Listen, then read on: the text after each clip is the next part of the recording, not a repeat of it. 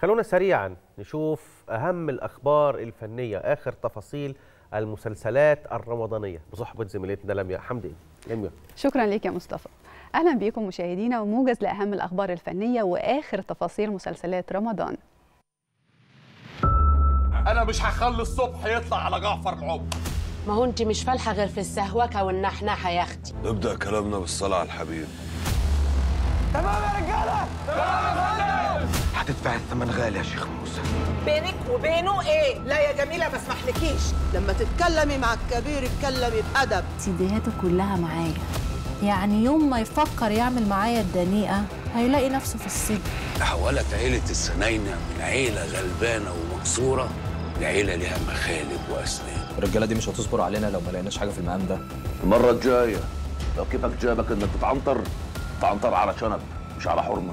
الحرمة ما داسها جدعة إيه اللي جابك هنا دلوقتي. انت هترجع ولا إيه؟ لا أنا بستغرب بس. هي فين فين اللي بتخوني معاه موسم البط ابتدى ولا إيه؟ هرجع لك تاني. هخلي لك الدمج للركب.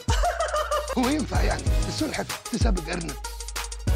عيني على الحلو لما تبهدلوا الأيام.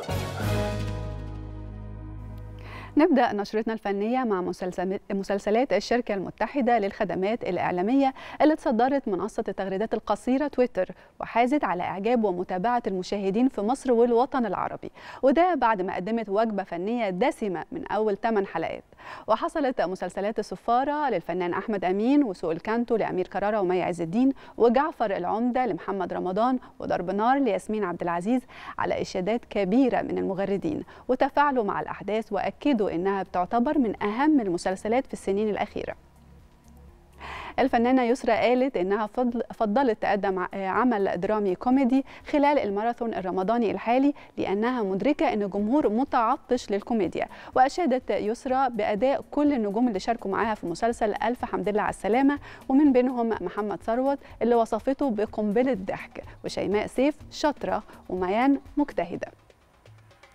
الفنان محمود حافظ اتكلم عن دوره في مسلسل حضرة العمدة وقال إنه بيقدم شخصية حامد زوج الفنانة بسمة في إطار كوميدي بسيط على الرغم إنها شخصية شريرة. محمود كمان قال إنه سعيد بالمشاركة في العمل خصوصا بعد ردود الأفعال الإيجابية اللي جات له من الجمهور لأن المسلسل مهم جدا وبيناقش مجموعة من القضايا المجتمعية المتعلقة بالمرأة. الفنان حاتم صلاح قال إنه سعيد بتجسيد شخصية نفادي ضمن أحداث الجزء السابع من مسلسل الكبير قوي خصوصا مع الفنان أحمد مكي والفنانة رحمة أحمد. وقال إن سقف توقعات الجمهور مرتفع وإحنا تعبنا وعملنا اللي علينا وبإذن الله الحلقات اللي جاية هتكون عند حسن ظن الجمهور. وبعد النجاح الكبير اللي حققه الفنان أحمد عيد في مسلسل عملة نادرة أكد عيد إن أسرته كان ليها تأثير كبير في تكوين شخصيته وقال كمان إنه كان عنده طموح يعمل شخصية ريفية بس كبر عليها ومش هينفع يعملها لكن ممكن ينفذها كعمل إذاعي. المؤلف محمد هشام عبية المشرف العام على كتابة مسلسل رسالة الإمام قال إن مسلسل رسالة الإمام مغامرة وإن فريق العمل زار مسجد الإمام الشافعي للحصول على طاقة المكان والشعور بالروح الحلوة في المكان وإن فريق الكتابة تسلح بالكتب والمذاكرة والمراجعة والتدقيق خلال الكتابة وقال كمان إن رسالة الإمام مستوحى من أحداث حقيق- حقيقية لكنه برؤية درامية. خلصت كده نشرتنا الفنية ونرجع مرة تانية لبسانت ومصطفى نكمل معاهم باقي فقراتنا. شكرا ليك يا لميا.